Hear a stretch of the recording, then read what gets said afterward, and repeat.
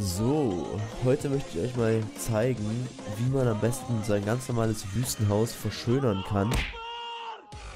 Und ich habe dann direkt schon mal ähm, die ganzen Spitzen und Muster rausgemacht und ziehe jetzt so eine Art ja, Stützen, weil so ein Haus würde einfach umkippen, wenn das so dastehen würde. Ähm, und ja, da ich das ein bisschen langweilig finde, wenn man überall an jeder Seite so Stützen dran packt, habe ich jetzt hier angefangen, so einen Säulengang ranzubauen, wo dann später auch eine Dachterrasse drauf kommen wird.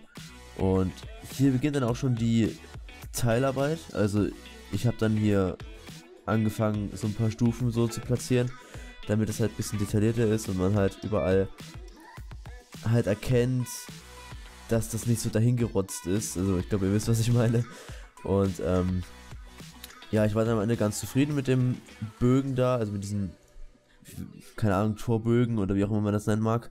Und wie ihr auch schon seht, ich habe da in zwei Ebenen gebaut, was eigentlich mindestens der Fall sein sollte. Also am besten sind sogar drei Ebenen.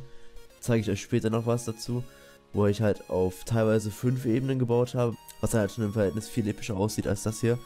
Aber ähm, nichtsdestotrotz ist das halt für ein kleines Haus auch schon Detail genug, finde ich persönlich, wenn man zwei Ebenen nimmt.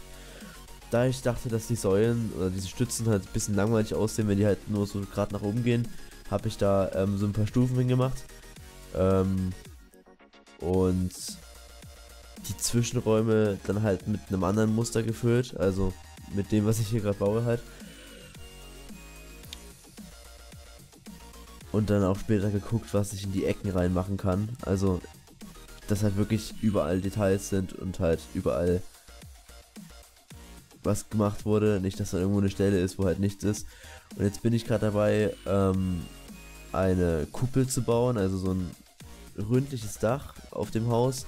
Der Platz hier für eine Kuppel ist relativ knapp bemessen, also normalerweise nehme ich mir für solche Kuppeln mehr Platz, werdet ihr nachher auch nochmal sehen.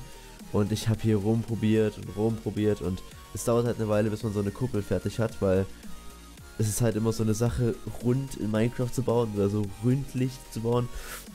Ähm, ja, und da habe ich halt viel probiert und dann letztendlich doch die Kuppel gebaut, die mir dann halt zu dem Haus ganz gut gefiel. Und ja, ist eigentlich also wirklich nur rumprobieren und nicht aufgeben. Mehr ist da eigentlich nicht dahinter, hinter diesem arabischen Baustil, den ich momentan halt echt verfolge. Und ja, halt viel mit, richtig viel mit Stufen arbeiten. Das ist das Wichtigste, egal ob es Halbstufen sind oder ganze Stufen. Und viel mit Überkopfstufen und halt seitlich so ein bisschen, ja. Und ja, das war jetzt die Kuppel, die mir gefällt. Und jetzt bin ich gerade gleich noch dabei, ähm, noch so ein paar Details hier reinzubauen. Also, damit es halt auch da unten nicht so flach ist. Halt noch so ein paar Stufen. Und ja, dann dachte ich mir, ein Balkon wäre doch ganz geil. Oder halt so eine Art Balkon. Ähm, wenn man das so nennen darf. Und hab dann halt dort so ein bisschen mit Stufen auch gearbeitet und experimentiert. Damit es halt nicht so langweilig und schlicht aussieht von unten auch, weil der Spieler läuft ja unten lang und sieht es ja von unten. Und deswegen muss unten auch ein bisschen Detail sein. Meiner Meinung nach. und ja, auf dem Balkon habe ich dann auch ein kleines Bäumchen gebaut, was ihr hier dann auch direkt sehen könnt. Beziehungsweise auf der Dachterrasse ein großes, ein richtiges Bäumchen. Halt eine Palme, wie es halt in dem arabischen Baustil meiner Meinung nach recht gut passt. Halt auch, achso, das ist ähm, auch mein Tipp beim Bäume bauen, viel mit so Sticks, äh, Sticks sage ich schon. In Wirklichkeit sind es Stöcke, hier heißt es Zaun, ähm, mit Zäunen halt so zu bauen, damit halt diese Verholzung so da ist und halt auch mit Half Slabs im Stamm zu arbeiten. Das finde ich ist dann immer ganz, also kann ganz gut aussehen.